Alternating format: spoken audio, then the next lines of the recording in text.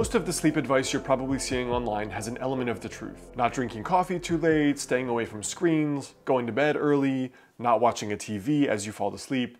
But what I find clinically is that there are two large categories of why people tend to have insomnia.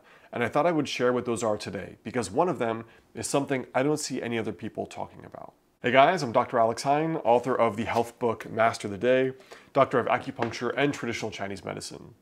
Now before we jump into this video, there's two very important links right below the video.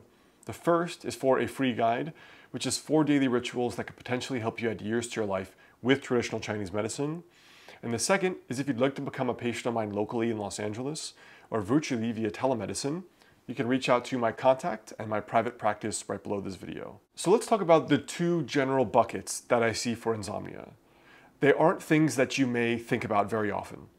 The first is let's call dysfunction in the digestive system. And the second is let's call dysfunction in the nervous system.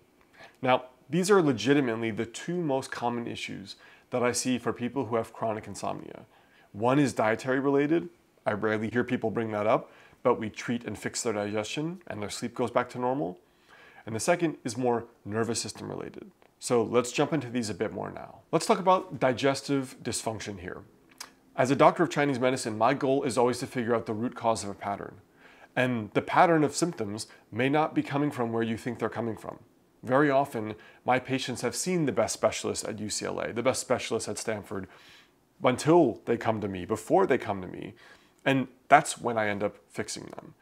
So, how is it possible that me, one guy who doesn't have a whole department, a whole hospital, can fix someone that a bunch of specialists couldn't?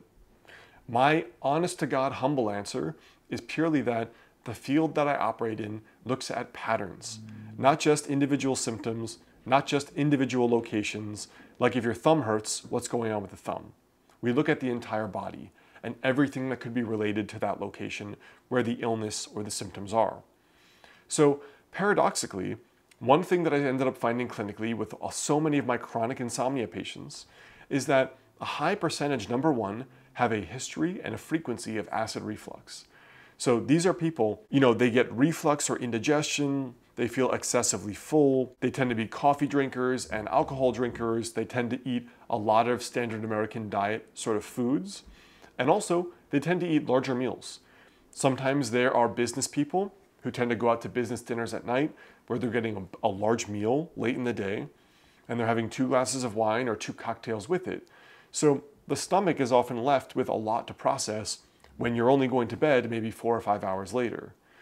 Now, how do we know if you are the stomach archetype? A few main symptoms I would say to look for. One, do you have acid reflux, indigestion, GERD, or chronic stomach dysfunction that bothers you? That would be my very first question. Two, are you taking medications for any of those symptoms? And three, are you someone who, let's say, wakes up from time to time feeling a little nauseous, a little indigested, a little bit of sourness in your stomach, or even if you sleep through the night, you wake up feeling those things? If so, you may be one of these stomach archetypal people that is having issues with indigestion and reflux and is interrupting your sleep quality. So there are two other kinds here as well. Chinese medicine, we break things down into excess or deficiency. The excess archetype is really, let's say, the standard American businessman. He's an overweight guy, he's got a red face, he has bad breath, he doesn't eat consciously at all, he just eats for pleasure, right? He obviously could lose some kilos. He looks like he's unhealthy and overweight. He has a lot of indigestion or acid reflux, maybe even lives off Tums or antacids or Prilosec, whatever medication he's taking. That's the standard archetype for excess. But there's a deficient type too which is people who tend to be pale faced like me, thin like me, and just in general have weak digestion, where their stomach is easily upset, they're prone to food allergies, excessive bloating, and abdominal fullness. These people can often have insomnia too, not because the stomach is bothering them, but because they're so bloated that they feel uncomfortable. So, what is a simple habit you can do for this archetype? The simple habit is three main things. One is eating five hours or more before bed. So if you go to bed at midnight, try not to have a meal later than 7 p.m. to give your stomach time to digest it. Two would be just a 30 day experiment. Stay away from coffee and stay away from alcohol. because both of those can be very, very hard on the stomach if people have a tendency towards GERD and acid reflux. The third is eat more of a Mediterranean or more of a vegetarian based diet because within Chinese medicine, many kinds of acid reflux are considered stomach heat. And so eating a more temperature neutral diet, like more vegetables, preferably more cooked vegetables, more Mediterranean diet, will help work on some of the inflammation that's going on within the body. So those three things will often help if you're having issues with the stomach. The last piece of advice is if all else fails, just try fasting. Eat a meal early in the day, let's say 5 p.m., and fast all the way until the time you go to bed. And that will often reduce some of the burden and the discomfort in the stomach and let you sleep. Now, the second archetype is what I call dysfunction in the nervous system. Who here doesn't have dysfunction in the nervous system these days? Feeling anxious, feeling depressed, getting heart palpitations, noticing your heart, feeling an elevated heart rate, not sleeping well, feeling stressed for no reason. Lots of this is the nervous system. Now, one of the ways you know that your sleep may be related to something going on with the nervous system, meaning your overall stress response and stress hormones, is basically what your body does during the day. So, people in this picture definitely are correlated with more waking through the night or more incomplete sleep or sometimes they say, you know, I just wake up after five or six hours and I'm never rested. Whereas normally a full night of sleep is, let's say, eight hours for them. Also, a lot of people with more of the reflux archetype have difficulty falling asleep, I've noticed, as opposed to this one is more staying asleep. So these people often wake up at 3 a.m. It's the most common time of night that I see, more correlated with the stress response.